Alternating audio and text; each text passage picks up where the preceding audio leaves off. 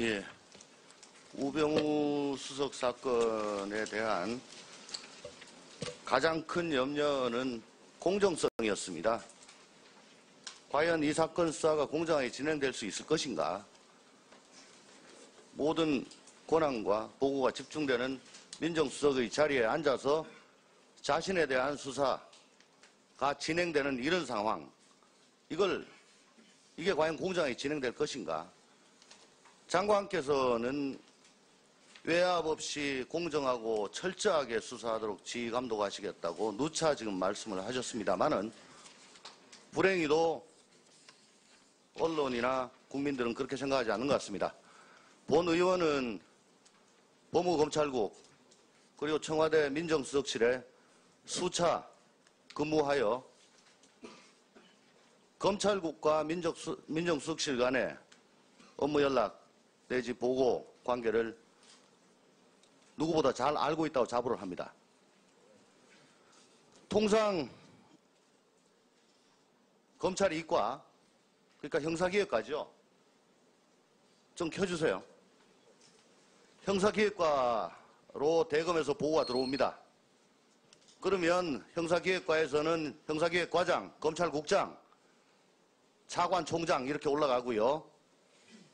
또 민정수석실에서는 민정비서관실 파견검사, 민정비서관, 민정수석 이렇게 되는데 각자 카운터 파트너가 되거나 아니면 급할 때는 절차를 조금 어겨가기도 하고 해서 검찰에서 일어나고 있는 중요 사건의 경우에는 손바닥 보듯이 다 꿰뚫을 수밖에 없고 그렇게 해야 국정 운영에 누수가 생기지 않고 대통령께 누가 되지 않기 때문입니다.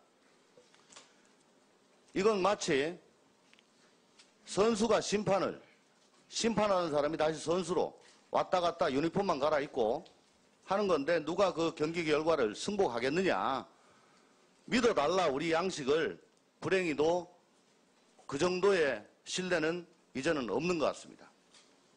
아까 장관께서 검찰 수사에 영향을 미치지 않는 범위에 뭐 보고를 한다 했는데 간단하게 뭐 어떤 게 그런 게 있을까요?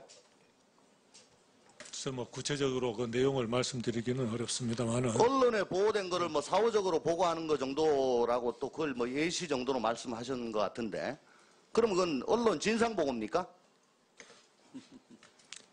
네. 대한민국의 우병우 수석을 제외한 그 어느 누구가 법무부로부터 자기와 관련된 사건에 대해 진상 보고를 받을 수 있는 그런 피의자가 있습니까? 본의원도 피의자를 해봤습니다. 피의자라는 신분 극히 불안합니다.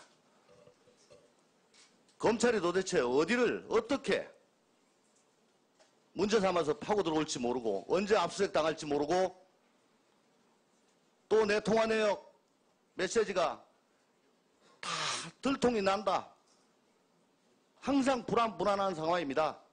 쉽게 얘기하면 횟집에서 도마 위에 올라간 생선 처지입니다. 모든 피의자들은 그런 상황에 있어요. 그래서 검사가 뭐라고 한마디 하면 저게 무슨 뜻일까? 왜 저런 말을 할까? 그걸 가지고 밤잠을 못 이루고 뒤척입니다.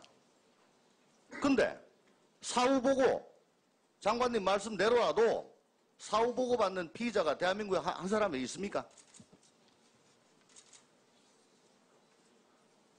검찰국장 앞으로 좀 나와주십시오.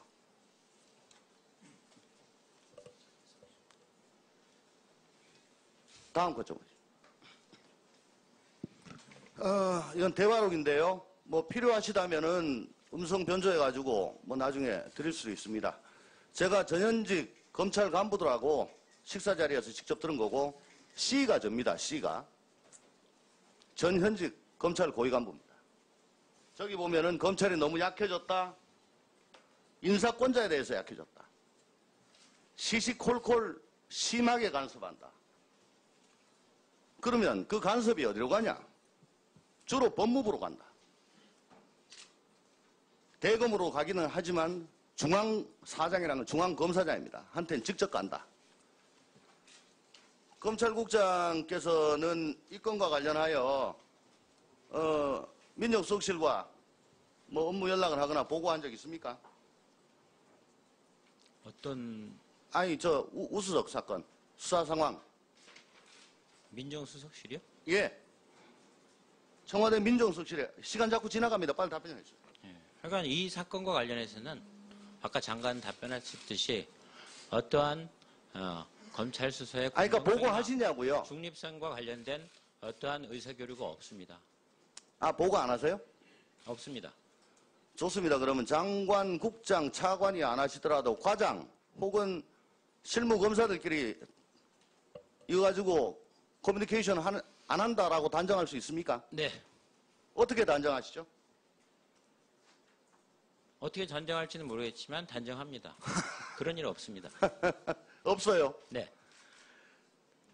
특별감찰관에서 간실에서 미르재단, K스포츠 대- 재단에 대해 내사를 냈습니다. 청와대에서 이석수 특별감찰관에 대해 국기문란을 얘기할 때 모든 국민들은 다 의아해했지요. 특별감찰관실은 민정수석실에 양대재단 내사 사건을 보고하지 않았습니다. 그럼에도 민정수석실이 먼저 알아가지고 조치를 취한 거로 사료가 됩니다. 그러면 하나만 더 묻겠습니다. 민정수석실에서 먼저 알고, 먼저 알고 검찰국에 질의가 들어오면 묻지 말라고 합니까? 어떻게 합니까? 묻지 말라고 합니다. 진짜입니까? 네. 지금 저 현직에 계시는 분이 너무 약해졌다. 검찰국 통해 가지고 들어온다. 라고 얘기할, 예, 알겠습니다. 현직에 계신 분이 누구죠?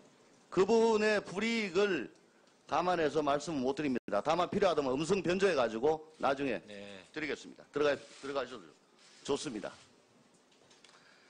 애초부터 공정할 수